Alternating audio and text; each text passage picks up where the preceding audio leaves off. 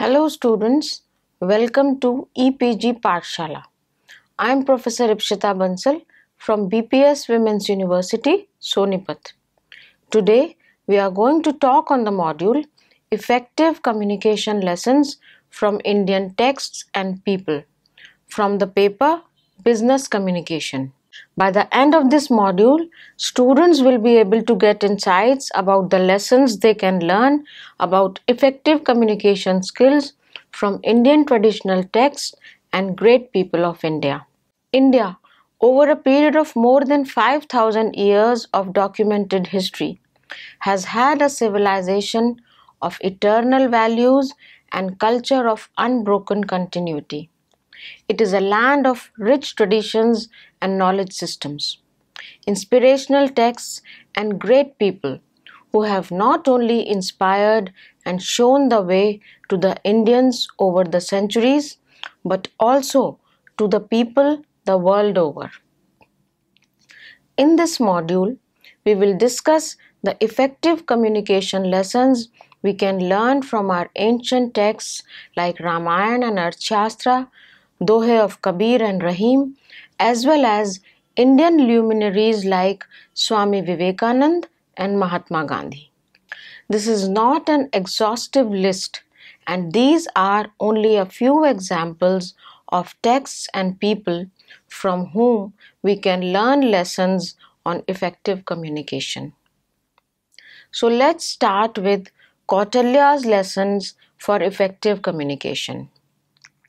Kautilya or Vishnugupt, popularly known as Chanakya, was the prime minister of Chandragupta Maurya around 313 and 289 BC. His Arthashastra is one of the most extraordinary and elaborate treatises on political economy throughout the ancient period. Kautilya's object was completely practical and he composed the Arthashastra for the socio-economic welfare of the man living in this world without giving any weightage to the eternal world which man had not seen. The book is remarkable for its dealing with a vast variety of subjects and its elaborate and detailed considerations of diverse aspects of ruling a state. It is divided into 15 books known as Adhikarnas and 150 subdivisions known as Prakarnas. Kautilya's Arthashastra was primarily written as a guide for the king who should be able to rule with justice and equity to ensure protection and prosperity of his subjects.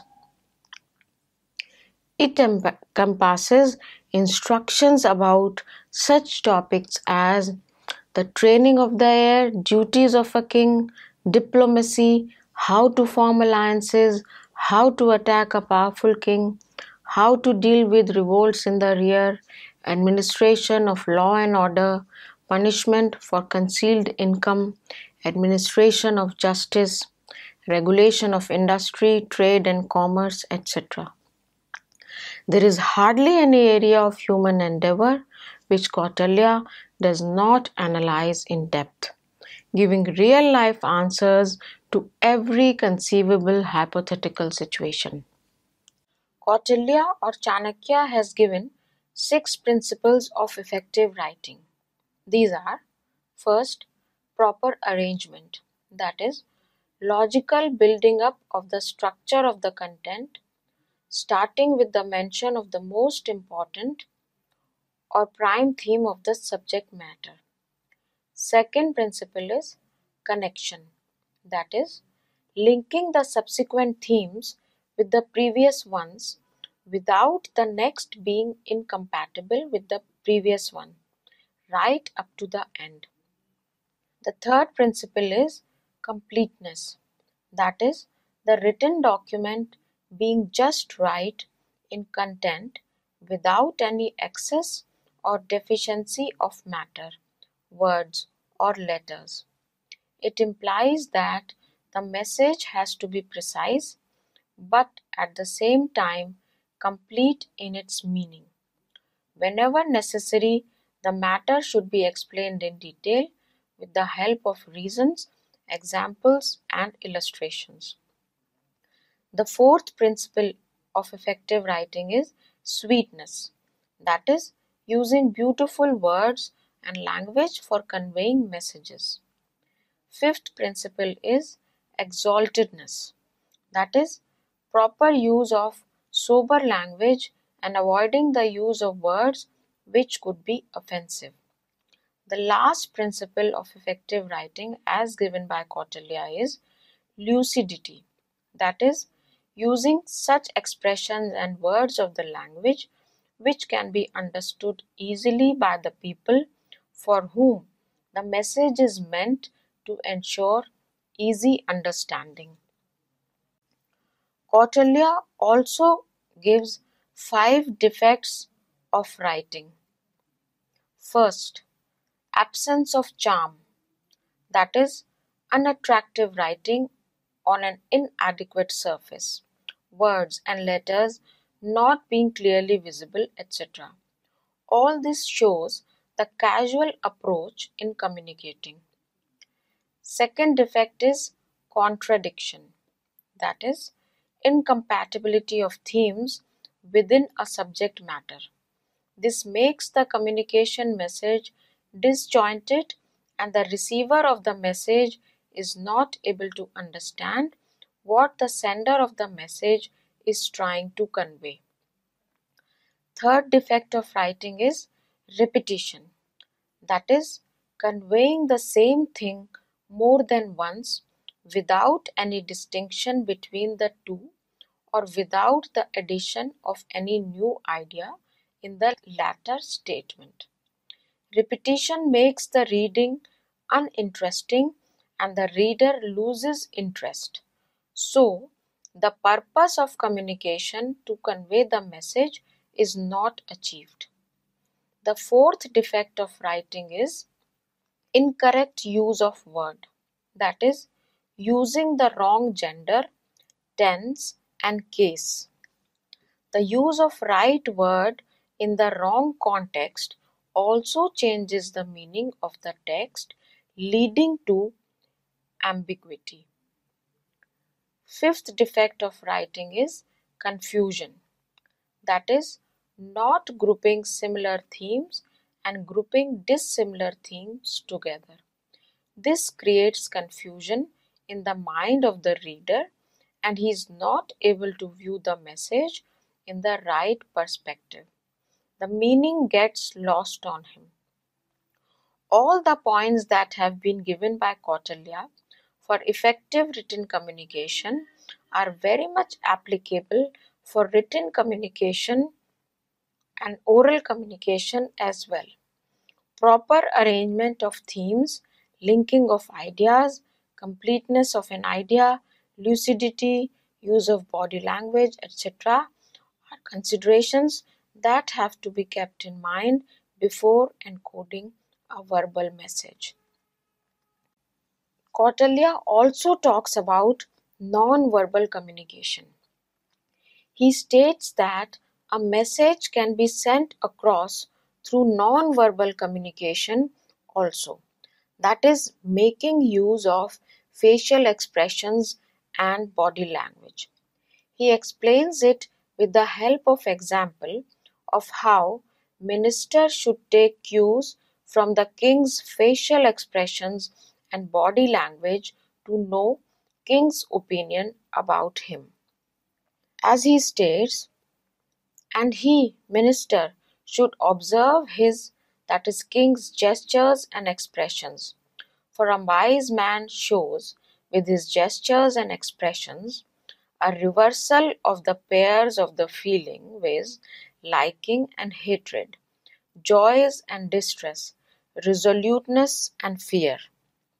A communication message becomes stronger and clearer if words are accompanied by corresponding facial expressions and gestures.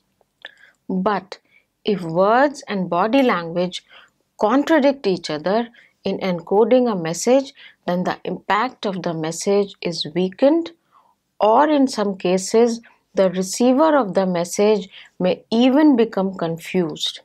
For example, a reprimand or a scolding accompanied with a smile. Sometimes, in sensitive situations when one cannot make use of the words, the message can be conveyed by judicious use of expressions and gestures. For example, to show satisfaction, pleasure at others' sight, offering a seat, taking pleasure in others' talk, paying regard to the other in matter that are to be communicated, appointment to a task with a smile, touching with the hand, all these gestures show satisfaction. To show dissatisfaction, anger at the sight of other, not giving him a seat and not looking at him, change in complexion and voice, contraction of one eye or lip, consultation with another, going away suddenly, indifference, all these gestures show dissatisfaction. So we see that Kautilya discusses in detail all forms of effective communication. Let's now discuss in brief effective communication lessons from Ramayana. Ramayana, the great Indian epic, provides many examples of effective communication. For example, in the Ramayana, when for the first time Hanuman meets Lord Rama and Lakshmana in the forests and introduced himself, Lord Ram was greatly impressed with the way Hanuman communicated and he admired the effective communication skills of Hanuman. In one of the shlokas of Ramayana, Lord Ram explains the significant characteristics of communication skills of Hanuman, which astonished him the most. He talked about various good points about Hanuman style of communication. Hanuman spoke for the required level, that is, he spoke very concisely, not too short, not too long. His speech was lucid and unambiguous. This is how his speech possessed clarity. He spoke with no grammatical errors.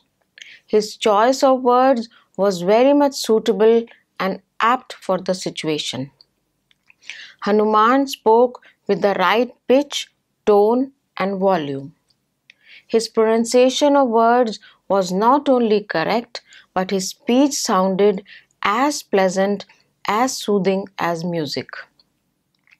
The words spoken by Hanuman went directly to the heart. Hanuman is a great example of showcasing the effective communication skills as an orator and even as a listener.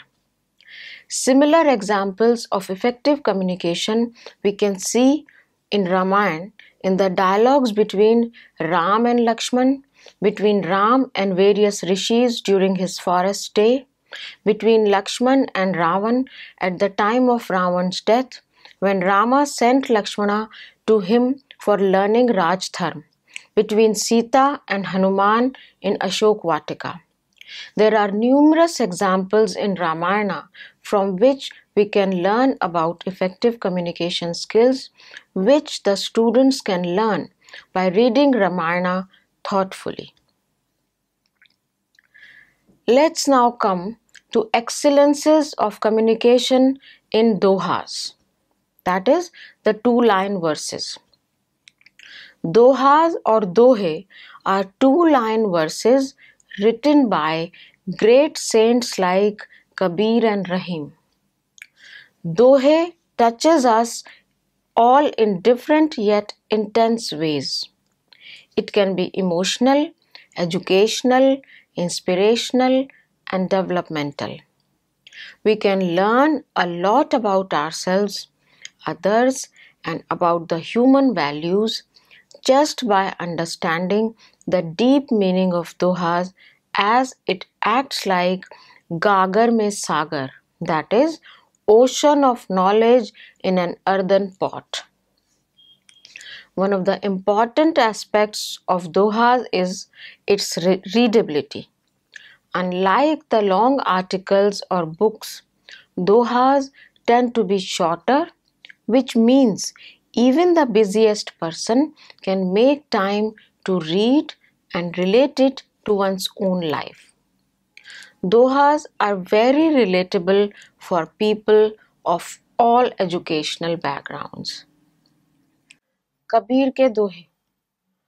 Example one which talks about self awareness and introspection बुरा जो देखन मैं चला, बुरा ना मिलिया कोई जो दिल खोजा, आप ना मुझसे बुरा ना होए।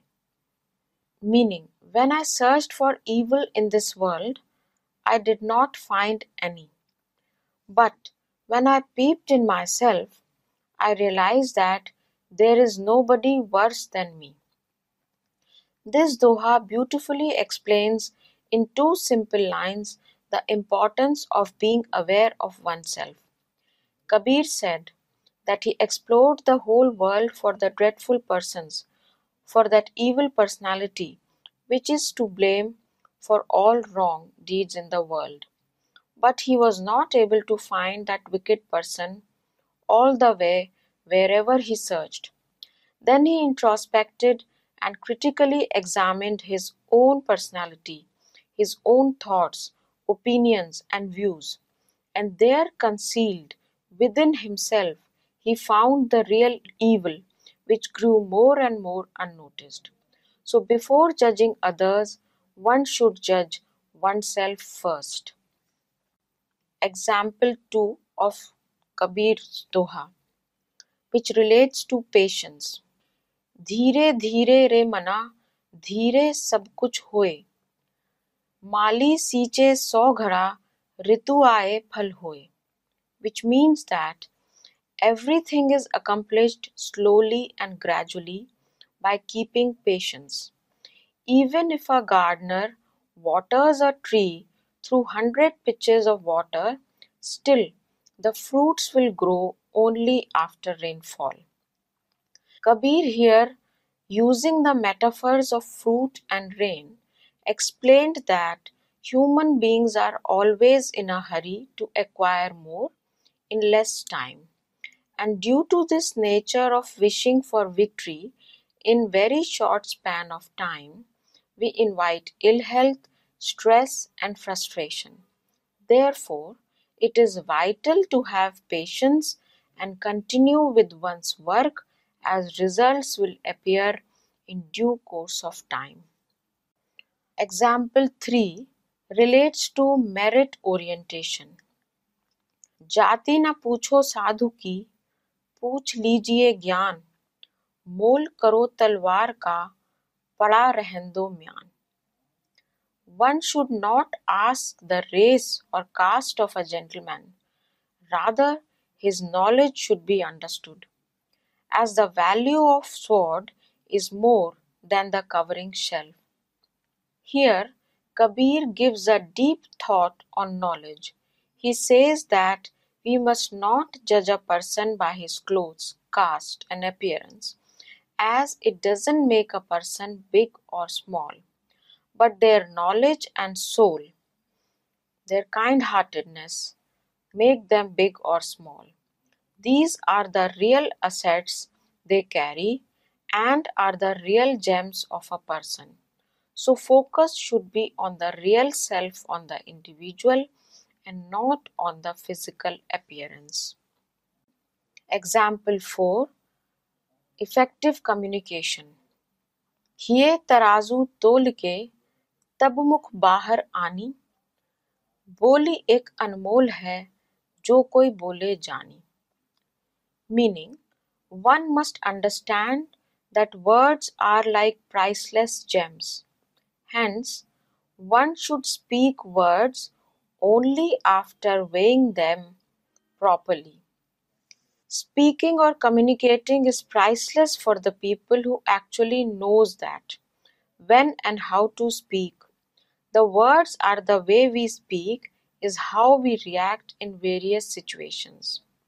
A person who knows the real values of speech is the man of wisdom, and he thinks and analyzes before he speaks even a single word. In the same manner, Rahim also in his Dohas has given a vast knowledge to the people in simple and understandable language.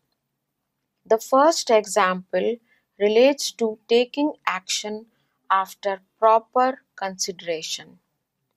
बिगड़ी बात बने नाही लाख करो किन कोई रहीमन फटे दूध को माथे ना माखन होए which means that because if something wrong has taken place, it is not possible to make it right even after million attempts. Same as it is difficult to make butter from the curdled milk, which means that a man should act after having proper consideration. Rahim explains that even many attempts will not be able to alter the situations which have gone wrong, especially the relationships, just as butter cannot be produced from curdled milk. Thus, it is a vital lesson for life that one should not let the situation go out of control. Example 2 of Rahim ke Dohe relates to the concept that small is as important as big. Rahiman देखी बड़ेन को लघु न दीजे डारी जहाँ काम आए सुई कहा करे तलवारी meaning Rahim says that one should not throw away small objects if one gets larger ones. As where the small needle is required the sword will be of no help. Rahim says that for sewing clothes, small needle plays the important role, and even the big sharp sword is of no use in this process because a small needle can't be replaced by a large sword. In the same way, we should not underestimate importance of small things or humble people and should not take too lightly to the people who have low status in society, as the work or tasks they do are of equal importance as those done by the elite people. So we see that Dohas are treasure trove of worldly wisdom stated in short and simple form, easy to understand and remember. These are the important characteristics of effective communication. Let's now understand about inspirational communication of Vivekananda. He was a great leader having the capability to inspire the youth through his effective communication. Vivekananda understood the essence of communication while traveling the world. Vivekananda iterated that people produce thoughts. In one of his lectures, he stated that I am talking to you this evening and it is producing thoughts in your brain. By this act of transmission, we understand that my thoughts are being transmitted into your brain and your mind and producing other thoughts. Vivekananda, during his lectures, logically presented his ideas and never aimed at forcing his thoughts over others in order to make followers. Vivekananda, be it at Chicago conference or at informal lectures that he gave at various places appealed to people. He had such pleasing personality and communication skills that while traveling, he asked for food. People invited him in their homes and requested him to spend time with them to learn better things. His communication style was motivating and inspirational. He used simple words and straightforward style. This helped him to connect with people and inspire them to act in positive ways.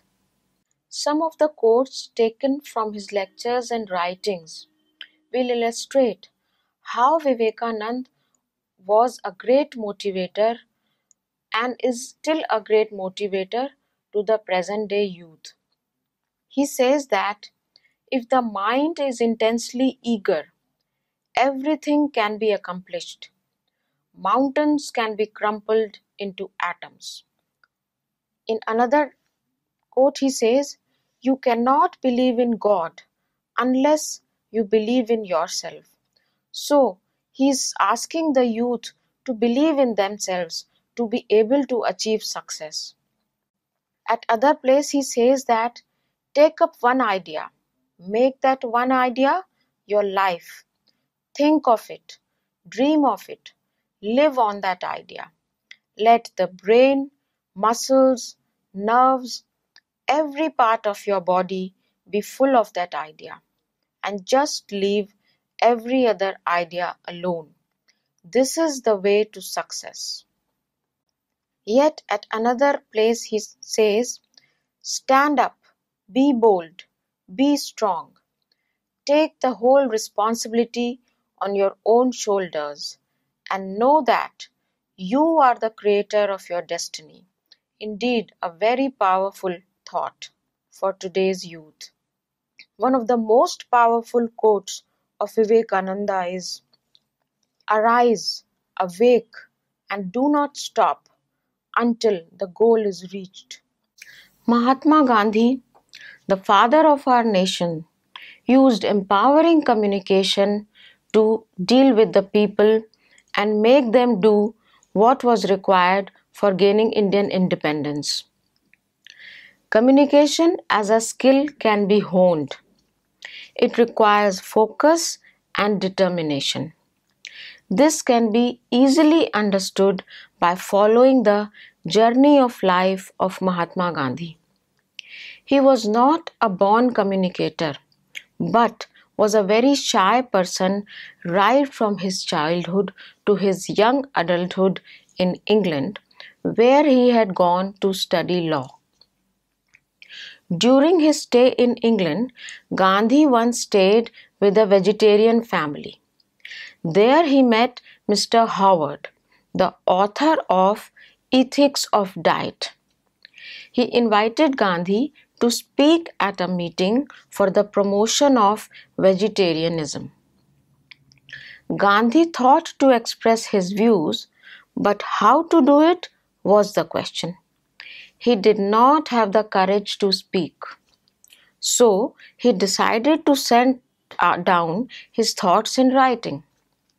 He went to the meeting carrying the document and stood up to read it, but could not. He writes, My vision became blurred and I trembled. So the speech had to be read by someone else. This shows his shyness and stage fear. But he was aware about this and tried again and again to speak to remove his hesitation. Let's now consider some important aspects of empowering communication of Mahatma Gandhi. Mahatma Gandhi used his shyness to be a thoughtful communicator. In fact, he saw the positive side of it. He said, My shyness has been in reality my shield. It has allowed me to grow. As a man of few words will rarely be thoughtless in his speech. He will measure every word. Since Gandhi was shy, he spoke less, but very thoughtfully, measuring every word, making his communication with the masses very effective. With economy of words, his messages contained soul searching questions and heart winning answers. Gandhiji said, Trust is my God. Lack of transparency leads to lack of trust, and this lowers the credibility of the leader. Gandhiji called secrecy the enemy of credibility. Second aspect is Gandhiji had all the qualities of a great communicator and motivated millions of people even outside India, that too when there was no television or internet. He was a good listener and empathetic communicator. On returning from South Africa, he first toured India extensively, that too in the third class railway compartment, to have insights into the needs and wants of common people before preparing any action plan. Gandhiji succeeded in reaching close to the people by overcoming all barriers of communication. He was a patient listener and never took hasty decisions. His scanty clothes on his body, that remained only half covered, spoke of a body language which identified him with the poor people shivering in winter and sweating in summer. Third, Gandhi evoked people's right to freedom of communication with each other as a doctrine of natural justice, which is clear from his following statement. If the luxury of wires be denied to us, we must manage with the post. If the postal communication be also stopped, we must use messengers. Friends traveling to and from will oblige us. When the use of railways is denied, we must use other methods of conveyance. No amount of slowness imposed can checkmate us if we are sure within. To enhance effective communication, Mahatma Gandhi used people's language to communicate with them. Gandhiji's interaction, both lateral and vertical, with different classes of people having diverse backgrounds, convinced him that the masses have great potential to effect social change and bring about renaissance. He also knew well that both language and semantics could be at times a strong barrier to communication. Hence, for harnessing the potential of common men in expediting the process of change, he thought it imperative to communicate with them in their own language, in which they could comfortably express views and understand issues. Gandhi empowered common people by providing necessary inputs through oral and written communication so as to enhance their awareness, knowledge, to acquire the ability to differentiate between right and wrong, identify threats and opportunities, and recognize one's rights and responsibilities. For this, he thought it essential that the sources of information were reliable and access to these sources was open to all, not restricted to a select few. His communication, oral or written, was clear and concise, hence effective. He addressed the masses, wrote articles, and traveled all across to deliver his messages, and wherever he could not make his presence, he sent letters or greetings or condolences. Gandhi was conscious about the necessity of print media for enhanced communication, and therefore he accepted the responsibility for the publication of many daily, weekly, and monthly publications in four languages that is, English, Hindi, Gujarati, and Tamil. Mahatma Gandhi used his silence also to communicate. Silence is the womb of language. Silence conceives, prepares, and gives birth to language. A state of silence is not merely an emptiness of sound, it is the fullness of unspoken intelligence. Silence is the pure potentiality of language.